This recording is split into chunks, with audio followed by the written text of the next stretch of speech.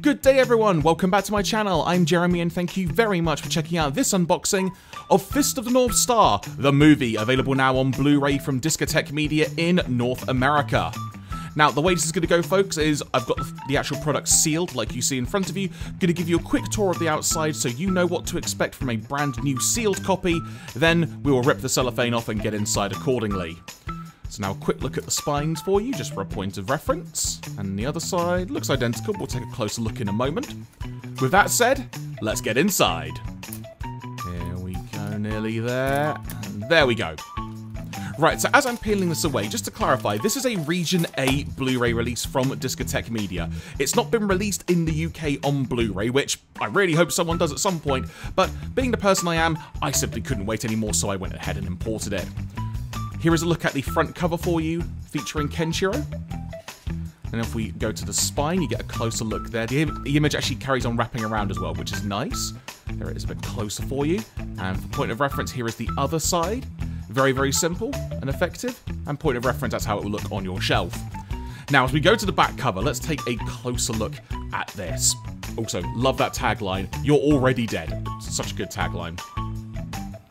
Get a good glimpse of that there. And if you want to read the technical info, hit that pause button so you can get a good look at that accordingly. Also notice there's two versions of the film. Curious to see what the differences are between those.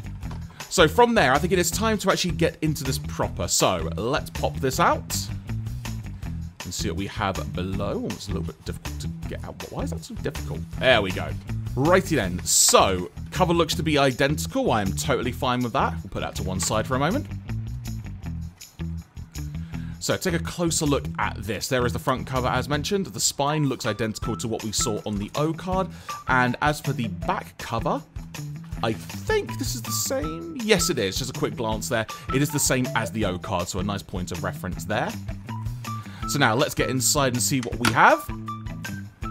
Oh, there we go. Nice and simple to begin with. We got the disc, which was upside down. So here is a closer look at that for you. That, that artwork works really well on the disc cover. But I do see there is something underneath, so let's take this sleeve out and see what we have here. That's a really cool image. I really, really like that. I, I want to see what this looks like if you have this as like an alternate sleeve design. I'm not sure if it's meant to be used as an alternate sleeve design, but I'm going to try because I think it just looks really cool.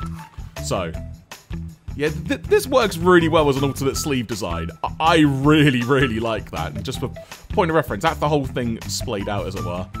That looks really, really cool. Um, I will probably end up using that as my default sleeve design, as it were.